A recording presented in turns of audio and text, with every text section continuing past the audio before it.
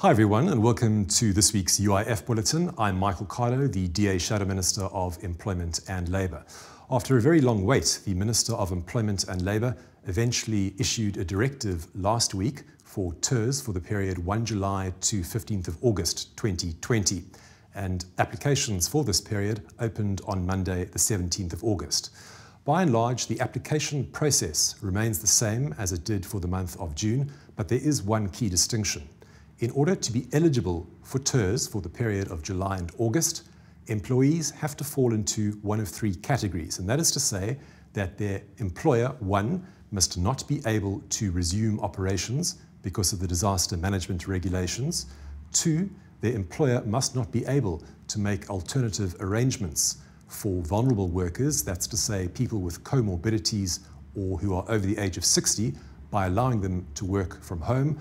Or C, the employer must not be able to use the resources of all workers because of operational requirements imposed by the disaster management regulations. And that means that the employer would have to introduce shift time or rostering and the like. Now, it remains to be seen how broadly or narrowly the UIF interprets these three categories. Obviously, we suspect that they might try and interpret the three categories in such a way as to narrow the pool of beneficiaries.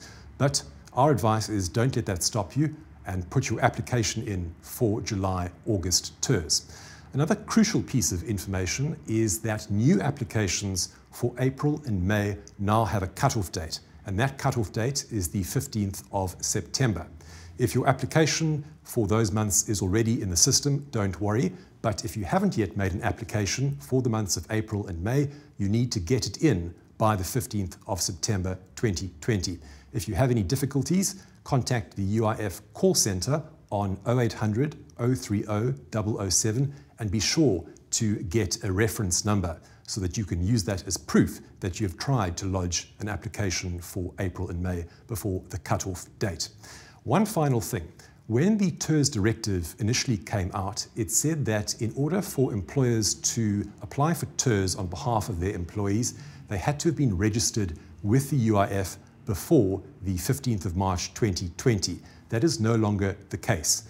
Now, some applications for April have been turned down because employers only registered with the UIF after the 15th of March. The UIF is now revisiting that, and even if you registered after the 15th of March, you should be able to apply for TERS benefits for your employees. That's it from me this week. Over to Michael Bagraim. Thank you, Dr. Cardo. It's Michael Bagraim. I'm the Labour spokesperson for the Democratic Alliance. One thing we've experienced over this period is the inability of the many bargaining councils, that's the old industrial councils in various industries, to organise themselves with regard to the UIF.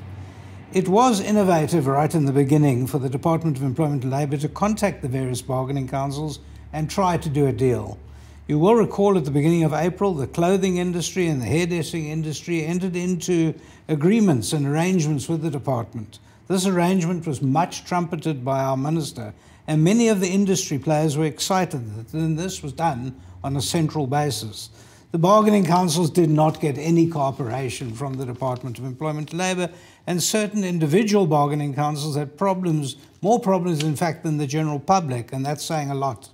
I dealt with the Laundry Bargaining Council over this period, whose members were left high and dry, to coin a phrase.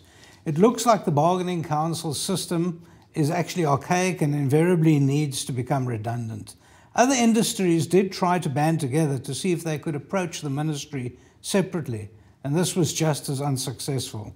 I know that the restaurant industry tried desperately to write as a grouping to the Commissioner, and they were given no extra help, despite the fact that they tried for months. In essence, for five months, we've had down the line very little help from the ministry and very little help from the commissioner. I'm getting, still getting a constant barrage of complaints about non-payments stretching right back to the last week of March 2020. The last five months have left the economy in tatters and the workers of South Africa penniless and hungry. If anything, our government, and in particular the department, should hang their heads in shame. The entire effort highlighted the problems in the system, highlighted the incompetence of the staff, and highlighted some of the discriminatory practice enforced by our Department of Labour. Over this period, I've written to approximately 10,000 emails to various officials in the Department of Employment and Labour. I've literally got enough mail to fill a dozen lever arch files. At the beginning of this crisis, I accused the Ministry of incompetence and I was threatened by the chairperson of the Labour portfolio. She said that she would be bringing disciplinary action against me as my allegations of incompetence were ill founded and unfair. The accusation made then was minute compared to what the country has now experienced. We've gone down the road of sheer frustration and misery. Right from the beginning, the systems failed us, the staff failed us, and their offices remained shut. Despite a few good staff members in the department, the experience has been a nightmare from beginning to end. The entire system needs a rejig, if not scrapping. It bears a reminder that when employers pay into the UIF for the contribution on a monthly basis, they pay directly from the South African Revenue Services. Each time they pay in, every detail of every employee is included. It would be extremely simple and obvious to effectively play these individuals out when they're facing business closure, even for a short period of time. Not in anyone's wildest dreams did they think that this would lead to the unbelievable hassles that we're experiencing right now. The simple cure pointed out by the Democratic Alliance right from the beginning was to allow the revenue services to effectively pay everyone out. This could have been done within 24 hours of each claim, but no, the ministry saw fit to limp along and fall to the ground almost dazedly.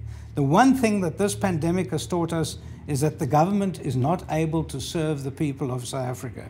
It has also taught us that despite the fact that the UIF money belongs to the workers, the government was unable to pay back those monies that they received from those very same workers. The unfortunate lockdown has turned the workforce into beggars and for their very own money. It must be remembered that the lockdown is by decree, and it has shown that it's not the pandemic, but purely a structural problem of trying to flatten this curve. The government can't even handle its own lockdown.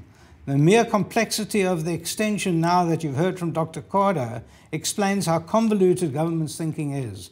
Over and above this, they have given us online portals that hardly ever work. The phone numbers supplied are never answered, and this does remind us of the Mad Hatter's Tea Party. This is our last report today, but please keep on sending your details to us. We will look after you. We will make sure that you're answered. Thank you for listening to me. It's Michael Bagraim.